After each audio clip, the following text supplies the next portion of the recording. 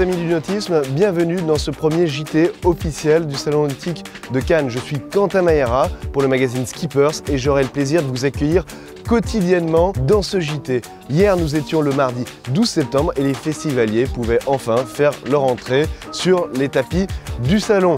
Nous sommes à bord du TH36 de Four Winds et nous allons accueillir sur ce plateau Nicolas Harvey, directeur de la marque. Bonjour Nicolas. Bonjour Quentin. Il est temps d'embarquer, alors place au titre. À quai, Roman Vénier de Célizy nous accueille à bord de l'allure 51.9, une référence pour l'unité de grand voyage en aluminium.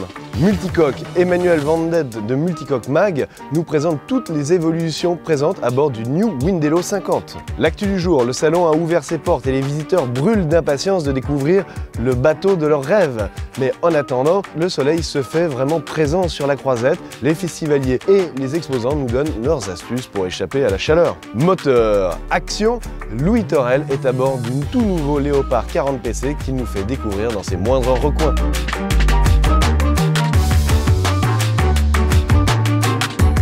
Roman Vénier est à bord de l'allure 51.9.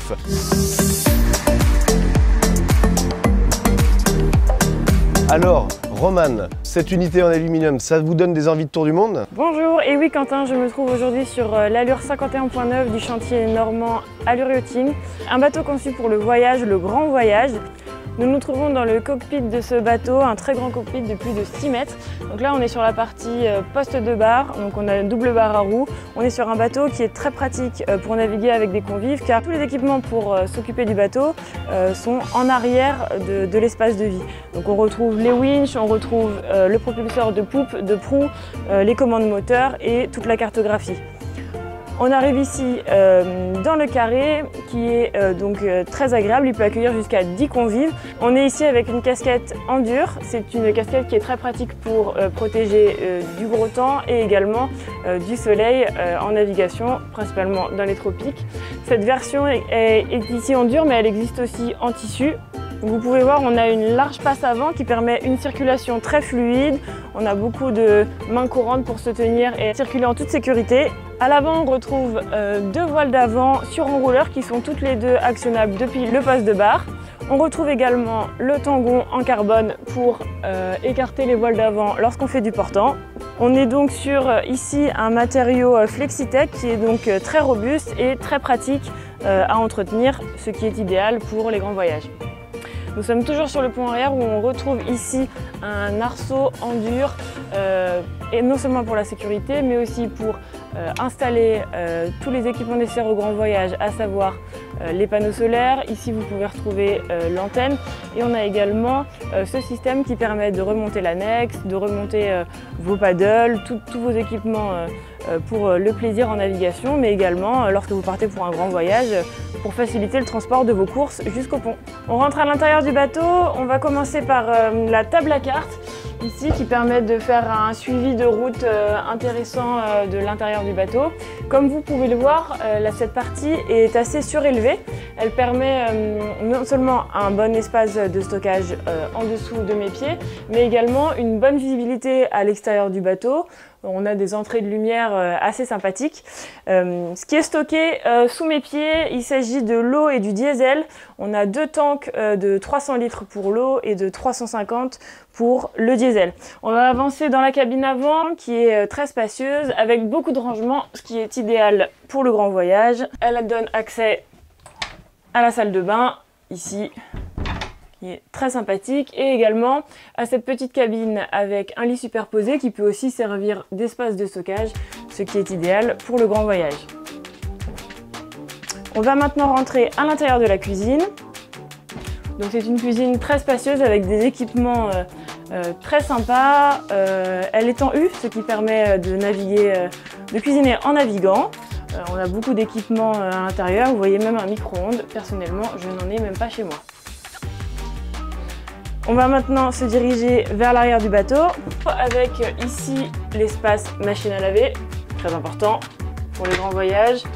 Et on se situe donc dans la cabine euh, propriétaire qui est très très large. Ici c'est la version la plus large euh, qui est très grande, très agréable. On va retrouver aussi l'espace salle de bain, très sympa, très grand. On arrive dans la dernière pièce du bateau, il s'agit de la cale moteur, un endroit qui est très accessible et c'est très pratique quand on part pour de grandes navigations. Le voilier est doté d'une voile sur enrouleur harisable, très pratique pour euh, hariser en toute sécurité depuis euh, le poste de bar. Voilà, c'est terminé pour le tour du 51.9. Venez le visiter au stand 165 place 29 sur le Salon Cannes. Merci à BNJ, notre sponsor, le spécialiste de l'électronique. Emmanuel Vandette de Multicoque Mag est à bord d'une Windelo 50 et il va nous en dire plus.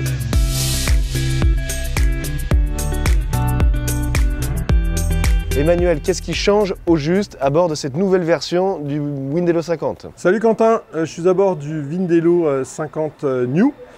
C'est la nouvelle version. Donc on a ici un plan de pont qui, englobe donc la plateforme arrière, le cockpit, le roof qui a été complètement changé. En fait on est passé de 21 pièces pour la construction du bateau, 21 moules, on est passé à 3. Donc ça a permis vraiment une finition beaucoup plus simple, un montage beaucoup plus simple du bateau. Maintenant, on va voir un petit peu en détail euh, le pont.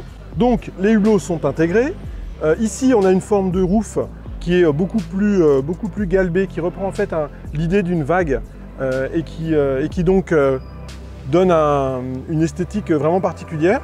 On conserve les cadennes qu'on avait sur le 50. On a ici 5680 kW de panneaux solaires, c'est énorme, c'est une énorme capacité de, production d'énergie.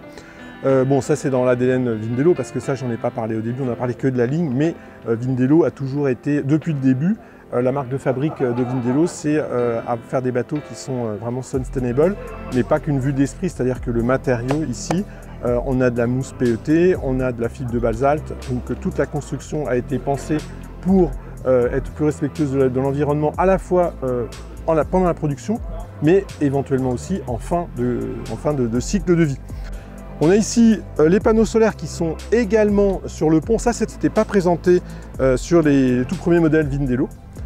Ça permet donc d'avoir encore plus de production d'énergie. Maintenant, on va voir euh, l'intérieur. Et là, bah, on, peut rentrer par l'avant parce que c'est aussi une particularité du Vindelo. Alors voilà, ça c'est vraiment une spécificité Vindelo. Le poste, le poste de manœuvre, il est ici. Il est au pied de mât. Euh, alors ça peut surprendre certains au début, mais en fait la plupart des, utilisateurs Vindelo euh, ont l'air ravis de cette configuration. Alors poste de commande et aussi poste de barre. Donc on a deux barres qui sont donc de part et d'autre de, ce cockpit avant, et qui est donc à la fois aussi un cockpit de veille, et qui peut être, alors on peut dire oui, mais s'il y a beaucoup de vent, s'il y a beaucoup de mer, comment ça se passe et tout. Alors d'abord on peut le fermer complètement, et ensuite il y a une protection euh, derrière avec ici un puisard qui, éventuellement s'il y avait de l'eau, évacue euh, instantanément l'eau qui pourrait rentrer. Donc c'est pas du tout une faiblesse euh, en termes de sécurité, absolument pas. On a aussi la commande du guindeau, donc ici on peut vraiment tout faire. On a toutes les manœuvres, on a la commande du guindeau, on a les, voilà, tout arrive ici. Tous les instruments de navigation qui sont là, les, poignées des gaz, des moteurs. Allez, parlons-en des moteurs.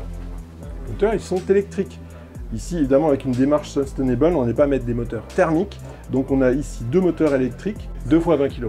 Voilà, 2 fois 20 kW, donc ce qui correspond en gros euh, à peu près à 30-35 chevaux, mais en fait, bon, comme le couple est supérieur, c'est un peu compliqué à expliquer, mais on a une puissance largement suffisante, euh, donc avec euh, pas de bruit, et une autonomie quand même qui est de 4 heures à peu près 6 nœuds, donc c'est pas si mal. On peut quand même naviguer, on peut quand même naviguer assez longtemps euh, sans faire appel au groupe électrogène, parce qu'évidemment en sécurité il y a un groupe, mais le but justement c'est de ne pas le faire tourner.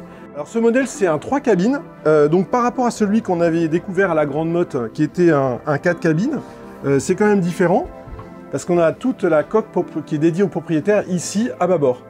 Donc on a le, grand lit qui est ici, la cabine est ici, on a beaucoup de rangements en coursive, et on a une immense salle de bain, qui est donc toute à l'avant de cette coque bâbord.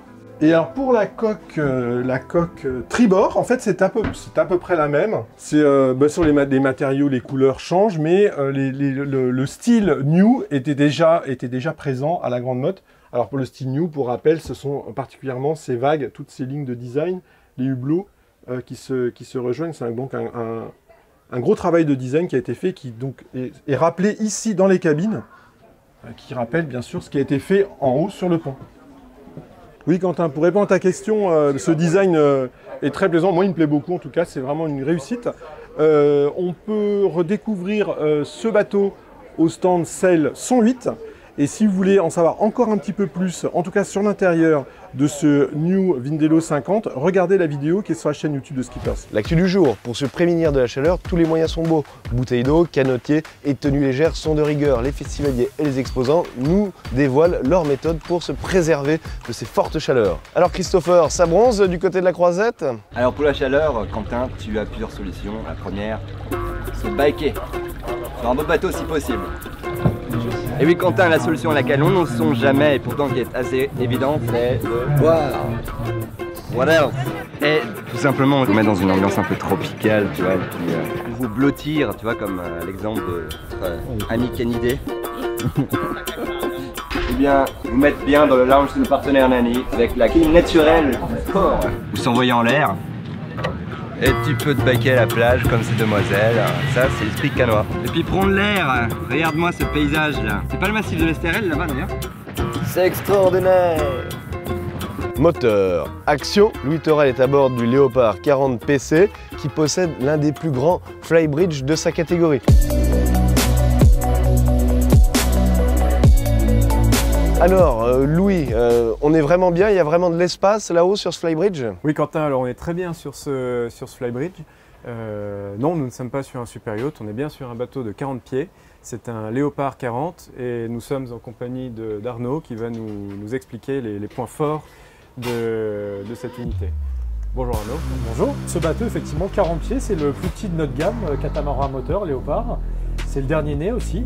Les caractéristiques de ce bateau principales, bien sûr, des très grands espaces de vie, la stabilité, et puis euh, pour ceux qui viennent du motor yacht, des petites consommations euh, en navigation au moteur. Oui, on n'est pas là pour prendre l'apéro, mais on est là pour voir le bateau. Hein. Alors quittons ce flybridge impressionnant, quasiment 40 mètres carrés et empruntons ces petits escaliers. Hop. On entre sur la nacelle. De chaque côté, on retrouve deux moteurs de 370 chevaux. On peut obtenir une, une autonomie allant jusqu'à 1000 milles nautiques, ce qui est relativement impressionnant pour un bateau de cette gamme. euh, qui est permis notamment par l'optimisation des carènes. Alors rentrons dans ce Léopard 40 PC. On retrouve ici un frigo américain avec toutes les boissons à apprécier en haut sur le flybridge. Ici, la cuisine en L en staron avec les plaques, deux plaques à induction, des tons relativement unis, une ambiance relativement chaude et un carré très confortable. Très confortable. C'est confortable, c'est doux. À tribord, on retrouve un flotteur propriétaire avec dans la pointe avant euh, la, euh, la salle de bain, la salle d'eau, des rangements partout. Pour avoir plus d'intimité, on peut basculer cette porte à galandage. Et ici, le- la suite, la fin de la suite propriétaire avec le lit. Alors Léopard oblige, on retrouve un poste de bar à l'intérieur du carré avec toute l'instrumentation. On peut assurer toutes ces manœuvres euh, par ici. Caractéristique aussi du chantier sud-africain, une porte solidement arrimée par trois poignées. C'est du solide. Et magie du direct, il n'est pas en option, hein, il n'est pas prévu en option. Et là, on accède directement sous les bains de soleil à la baille à mouillage. Si je veux dire, les bains de soleil sont vraiment confortables. Petits en Et pour finir, pensez à venir visiter plus en détail ce bateau sur le stand de nos amis de chez Léopard au Vieux-Port à Cannes. Et merci évidemment à Nani, le spécialiste de la marinisation de vos moteurs. Place maintenant à l'invité du jour. Donc je suis avec Nicolas Harvel, directeur général de la marque Four Winds. Alors euh, Nicolas, nous sommes sur un bateau, le Four Winds TH36, qui est à la fois euh, un catamaran euh, étroit pour un catamaran, mais très large pour un monocoque. C'est un bateau un peu hybride. C'est complètement précurseur sur le marché? Oui, bah, c'est très nouveau pour, euh, pour nous euh, dans le groupe Beneteau et, on est très heureux que la marque Four Winds ait été choisie pour porter ce projet. Euh, ça correspond parfaitement à l'idée et, la position que nous avons envie de donner à la marque Four Winds, position un peu de, de- navigation à bord de bateaux iconiques luxueux et donc en format catamaran, pourquoi pas, car ça présente énormément d'avantages. Non mais soyons honnêtes, c'est vraiment, j'aurais utilisé l'adjectif disruptif, ça sort en tout cas des, sentiers battus, des codes. Fait, euh, qu'est-ce que vous avez voulu amener avec ce, format? Vous pouvez nous le décrire? Oui, bien sûr. Ben, en fait, le format catamaran euh, est un format qui apporte énormément euh, pour ben, nos propriétaires de bateaux. D'abord, la stabilité. Euh, quand on est sur deux coques, on est beaucoup plus stable que sur une. Euh, l'espace à bord, hein, on a un pont complètement plat, de l'avant jusqu'à l'arrière du bateau, donc avec une facilité de, déplacement à bord qui est, vraiment incroyable. Ensuite, la consommation. Hein, les coques fines sont très efficaces pour passer dans l'eau. notre architecte Marc Lombard a fait un travail exceptionnel pour développer donc, ces coques. Euh, et, donc bah, c'est important aujourd'hui de, quand même surveiller la consommation des bateaux euh, par rapport à l'utilisation qu'on en fait. Mais au niveau de, la philosophie du bateau, on se retrouve à la frontière entre un day sailor et un vrai catamaran de croisière. Oui, en fait, on est, euh, un peu un, pied de chaque côté, entre guillemets. en effet, on a deux grandes cabines à bord du TH36 qui sont toutes les deux très indépendantes puisqu'elles sont dans les coques. Donc on ne dort pas, entre guillemets, de l'autre côté de la cloison euh, de, la famille, des amis ou, euh, ou autre. Et chaque cabine a sa propre salle de bain avec une grande douche séparée. Donc on peut parfaitement euh, imaginer passer quelques jours à bord ou alors seulement une sortie à la journée avec une dizaine d'amis. Il y a beaucoup d'espace modulaire en fait, de petits détails. Qu'est-ce qui, à vous, enfin c'est quoi votre coup de cœur sur le bateau J'en ai pas mal, à commencer par l'arrière où on a ces deux grandes banquettes en L hein, qui peuvent s'écarter donc pour laisser place à un passage au milieu et accès à une grande échelle de bain euh, pour pouvoir vraiment profiter euh, des mouillages. Euh, et puis ensuite, de l'arrière, je passe à l'avant où on a ce grand cockpit avant ouvert, un peu à, la mode américaine des Riders. Évidemment, c'est la marque Four Winds et on est connu pour nos Riders. Donc on retrouve cet esprit Rider. Et puis une cuisine sur le pont principal avec plein d'espaces de rangement, des réfrigérateurs, euh, euh, et, vraiment un, espace de vie à bord avec euh, des banquettes transformables en bain de soleil pour pouvoir profiter pleinement d'une belle sortie en mer. Et ben, Four Winds, c'est le yachting à l'américaine par excellence dans, la philosophie. Qu'est-ce que ce bateau justement a d'américain? Alors le style d'abord, quand on regarde le Four Winds TH36 du côté, même si on a fait appel au talent d'un designer italien, le studio Garoni Design, euh, pour, dessiner la silhouette du bateau. Il s'est fortement inspiré euh, des silhouettes de Four Winds. Donc quand vous regardez le bateau du côté, vous allez retrouver la forme de nos pare-brises euh, qu'on a sur les Rider Four Winds justement. ensuite, vous allez trouver plein de petits points de détail, notamment les taquets d'amarrage qui sont rétractables. ça, c'est vraiment le style américain Four Winds. et de nombreux autres détails qui, nous viennent directement de, la marque, comme la sellerie notamment, les détails de sellerie, le travail de, décoration à l'intérieur du bateau qui va nous rappeler ben, nos beaux riders américains. Ben, merci en tout cas Nicolas, c'était un plaisir euh, d'être à bord de votre bateau pour, euh, pour ce JT et euh, ben, on se réjouit de le découvrir de manière plus approfondie. Absolument, merci beaucoup à vous et puis bon salon. Voilà, nous arrivons au terme de ce JT. Merci à tous de nous avoir suivis et merci à nos partenaires BNG, Nani et Suncell qui nous permettent de réaliser ce JT en partenariat avec le Cannes Yachting Festival. Suivez-nous sur les réseaux et rendez-vous demain pour un nouveau JT. Allez, ciao